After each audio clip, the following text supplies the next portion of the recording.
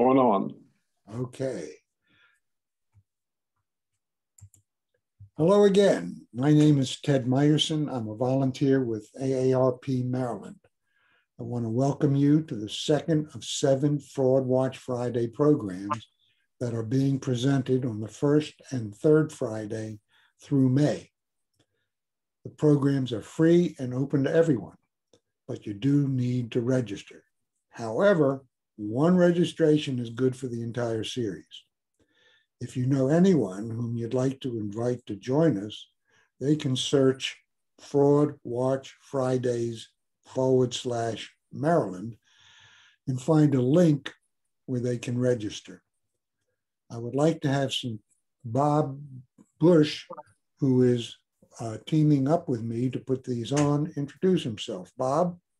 Hello, everybody. I'm Bob Bush. I live in Tampa Bay, Florida, area of Tampa Bay, and uh, welcome to you all. We're, we're happy to be here. Ted and I are collaborating on this uh, fraud watch, and we'd like to get something possibly going down in Florida or, or expand our audience a little bit. And I'm an AARP volunteer, and I'm here to support Ted today. And I'm next session I present. So welcome to everybody, and uh, hope you enjoy and learn something from uh, this presentation Ted has. All right, now I'll try to get to questions in the chat, and we will have time at the end for people to ask questions. So now let's get started.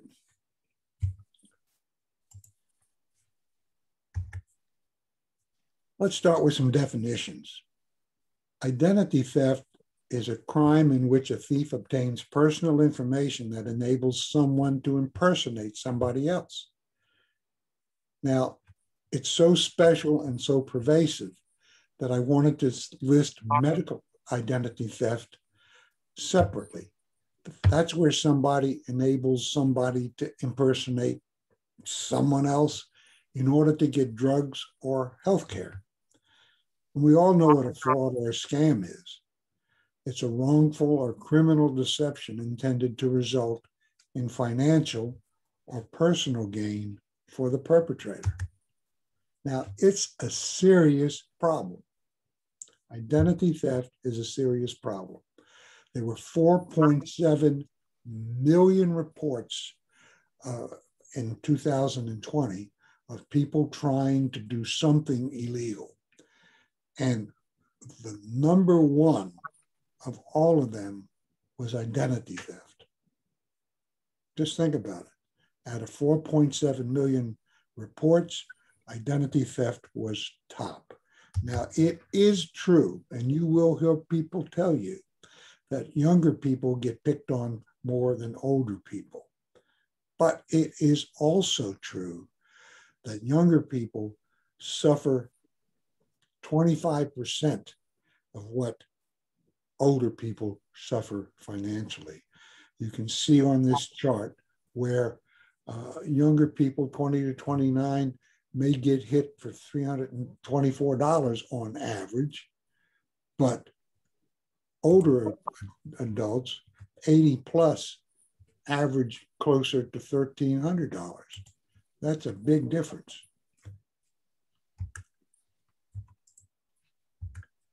So, how do they get your identity? Well, a thief uses available information, and there's a lot of information out there. Some of it you can partially control, and others you can't. Let's look at what you can control. You can control how your social security gets number gets put around. You can at, at least to a degree. Your driver's license the same way, your passport number if you have a passport, your financial account numbers, your bank account numbers your PIN numbers, your credit card expiration date security code, what you put on social media. And social media is a big perpetrator of spreading information about you. But these are in the public domain, and you don't have any say about it. Your legal name, your current and past address, your place of birth, your email address, your phone number, your affiliations, memberships, employer, life cycle announcements, and your credit report. That's all out there for somebody to access. So there are other ways too. Cyber breaches. We all know about, we all hear about people being hacked. And, you know, when I do this in person, I ask people to hold up their hands if they think they've been hacked. And usually about a third of the people hold up their hands. And then I say, all right, everybody hold up your hand. And you'll see why in a minute. Out and out stealing. You give your credit card to the waiter or waitress, they disappear. Who knows what they do with the number? Somebody can steal your tax returns out of the mailbox or documents out of the, out of the dumpster, your medical records. Just steal stuff out of your mailbox. Skimming. There are devices that people put on gas pumps and ATM machines. You put in your credit card, it reads it, and the thief, the criminal, gets that information. Phishing and smishing. What is phishing? Phishing is an, is an email you get that is designed to look like it's coming from a legitimate company. Smishing is the same thing with a text message. And then there are live calls and robocalls and vishing. Well, what is vishing? Vishing is phishing on the telephone, where you get a call and it sounds like it's coming from a legitimate company, and it is not. And people will say, uh, We need to check on something. What is your credit card number? So I asked you if you thought you had been hacked. Well, just look at this. There have been over 2 trillion records stolen and there are 200 accounts hacked every second. And that adds up to a lot of people. Look at Yahoo, and that's not even new. It's 3 billion people. Equifax, 143 million. Home Depot, 56 million. If you add that all up, it's more than the number of people alive in the world. So believe me, your information is out there. You've been hacked one way or another. And there are more ways.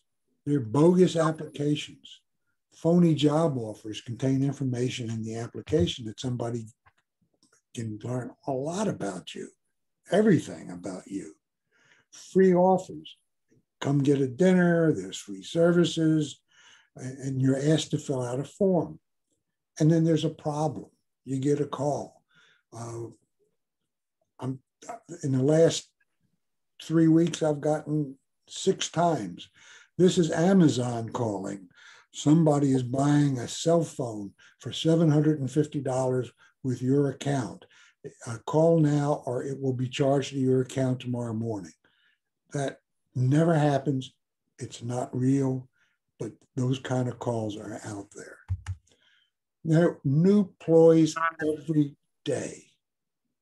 IRS, you owe taxes and you will be arrested SEC, you're involved with stock investment fraud. Or this is Microsoft, your programs are going to stop working if you don't call this number. Fake bills. The invoice for the item you ordered is attached. Well, that's curious. What did I order? And you click on it, and somebody gains access to your, com- your computer, or you need to put in some kind of information which they can use against you. We owe you you overpaid. Call this number for a refund. We've been hacked and need to return your money. Fake charities. People lost everything in the hurricane or some disaster like Texas. And everybody wants to help. And so you donate money to a fake charity, and the charity is the person calling you for the money. I've got a deal for you. Only a thousand coins like this were ever minted. COVID 19 cures and prevention are sprouting up every day and they're not real. Tax preparation, we guarantee a refund. Social Security, I'm I would be surprised if half of you have not gotten a Social Security call saying your account has been compromised, payments will stop. You know what? By accident, by accident, I pushed the wrong button and got somebody on the line with a Social Security call. You know what the first thing they asked me? The first thing they asked, please give me your social security number. if they know that my payment's going to be stopped, wouldn't you think they would have that number? What do they do with the information? Well, they convince somebody that they are you. or they can actually create a Frankenstein, a fictitious identity by aggregating information from several sources. And, and, and, and they can take your social security number and your and somebody else's address and somebody else's birthday, put it all together, sounds like a whole different person. Well, how will that bother me if they do that? Well, if it's my social security on number on there, uh, it could come back to haunt me uh, because that's what's going to be a key thing, or an address, or whatever is going to link to me. And so I want to be careful because these people who do these things can apply for a credit card, open a bank account, write bad checks, lease an apartment, buy a car, get medical treatments on your insurance, file for a tax refund, happens all the time, open utility accounts, and you know what? Get blamed for traffic violations. I didn't believe this until I spoke to a, a bunch of, uh, of, of uh, policemen and I said, Does that really happen? They said, Yeah, we stop somebody and they give us a fake uh, card uh, and, and, and, and it's not them. So whoever they're mimicking gets a traffic ticket or is called to court. And I wasn't even there. Who I don't know anything about it, but that is being done, believe it or not. Now, you're not the bad guy. The thief is the bad guy. It can happen to anybody. Bernie Madoff stole $15.2 million from Elie Wiesel, a Nobel Prize winner. Somebody can file a tax return in your name and you get a refund and you don't even know it. Social Security checks can be stolen from your mailbox. You had nothing to do with that. That you're not the bad guy. The guy that did it is the bad guy. So uh, the thing, there are lots of things you can do to protect yourself. These are only a few. In future presentations, we'll talk about more things you can do. But keep your social security number and personal information private as best as you can. I know when I go to the community college and try to sign up for a course, I got to give them my social security number. I don't want to, but I got to. So, best I can, I keep it private. Use credit cards instead of debit cards.